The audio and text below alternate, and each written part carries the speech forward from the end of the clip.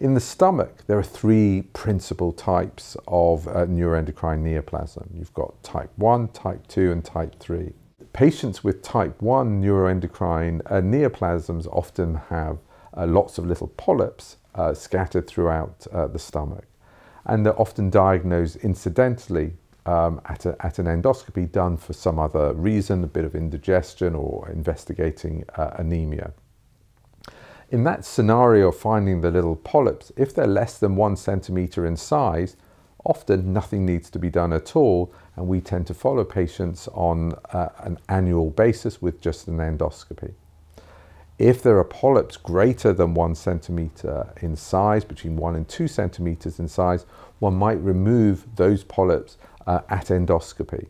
And sometimes we have to do an endoscopic ultrasound, which is like having an endoscopy or gastroscopy looking into the stomach, but at the end of the probe there's a little ultrasound uh, probe which can tell you how deep that little polyp is extending and whether it's safe to remove endoscopically. Usually it is, and um, that's a procedure that's commonly performed, but only necessary for uh, polyps greater than a centimeter or two, uh, up to two centimeters in size.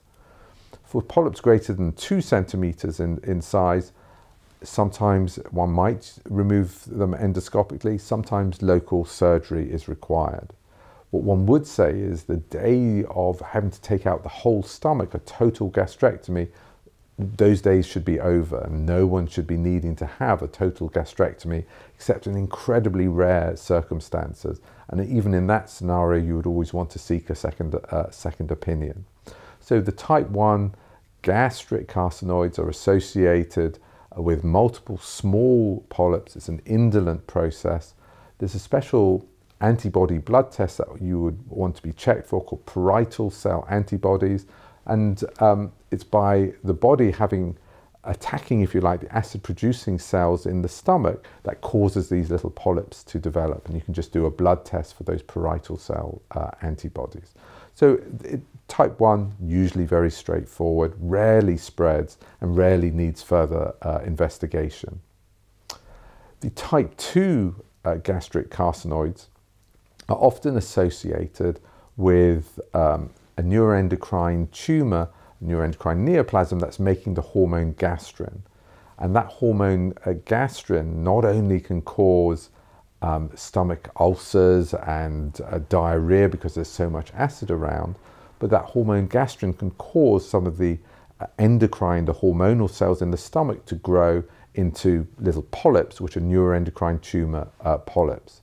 The primary uh, gastrinoma is usually found in the duodenum, in that bit of the small intestine, and occasionally the pancreas. So, may, so you'll find neuroendocrine tumors there, but because it's making a hormone gastrin, you can get type 2 neuroendocrine neoplasms with these growths in the stomach. It's really quite rare to have these type 2 gastric uh, carcinoid tumors. What is important about it, though, is that if you have um, gastrinomas that 25% of patients can have a familial, so it can run in the family uh, with this condition, multiple endocrine neoplasia type uh, 1.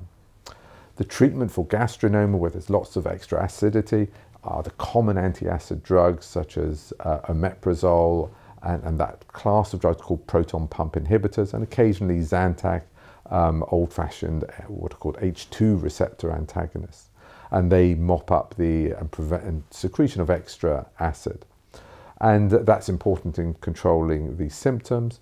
Um, if there are high hormonal levels related to gastrin, um, then patients may go on to the somatostatin analogues, uh, once monthly octreotide or sandostatin injections, or the lanreotide um, injections. And patients would be worked up as per other neuroendocrine tumors with a gallium octreotate uh, PET scan, They'd also have uh, CT uh, uh, scans or uh, MRI scans as well. And we'd be checking hormonal levels um, in the blood and checking the hormonal tumor marker chromogranin A um, as well. So that's the type 2 gastric carcinoid. The type 3 gastric carcinoid tend to be more aggressive or have a more aggressive potential. So these can be solitary neuroendocrine neoplasms within the stomach. They can be ulcerated, so they can bleed uh, a little bit as, as well. And they're often two or three centimeters, sometimes more in size. And they can uh, spread a little more easily than any than type 1 and type 2 neuroendocrine neoplasms. So anyone who's got a type 3 um, isolated um, neuroendocrine neoplasm in the stomach is not associated with, with the uh, antibody test, the gastric parietal cell antibodies. So and so these patients don't have that sort of background. And often in patients, if they've just got an isolated uh, lesion in the stomach, you need, if it can't be removed endoscopically, and one would always be cautious about endoscopic removal unless it's a very small uh, uh, lesion, less than two centimeters, then you might need a, what's called a local wedge resection. You just take out that bit of the stomach where, uh, where the tumor is affecting. But there is a predisposition to spread elsewhere, and therefore it's important to have a CT scan or an MRI scan to check that there's no spread elsewhere, and also to have either gallium octreotate PET scan or an octreotide uh, scan. The type 3 gastric carcinoids are not associated um, with other syndromes uh, usually.